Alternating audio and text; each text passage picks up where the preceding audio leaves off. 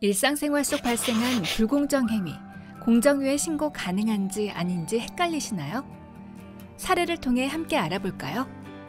김주택 씨는 이사를 계획하며 A 아파트의 분양 카탈로그를 보게 되었습니다.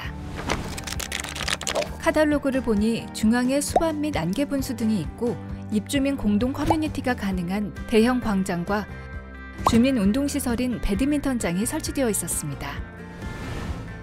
아파트가 마음에 쏙 든 김주택 씨는 분양 후 확인을 위해 아파트를 방문했습니다.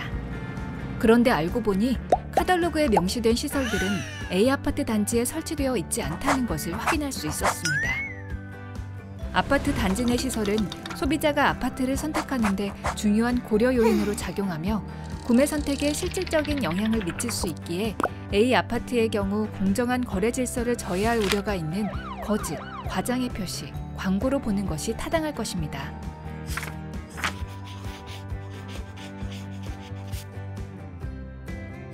신고인이 경험한 불공정한 행위가 법령에 따른 위반 행위가 맞는지 헷갈리시나요?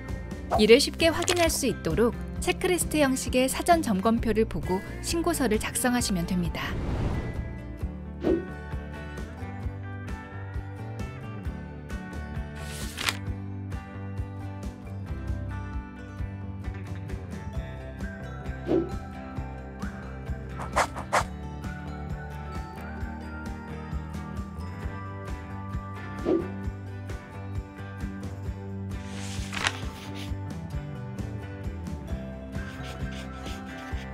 공정거래위원회의 민원 사항이 아니거나 소관 기관을 알 수 없다면 통합 전자민원 창구를 이용하여 주시기 바랍니다.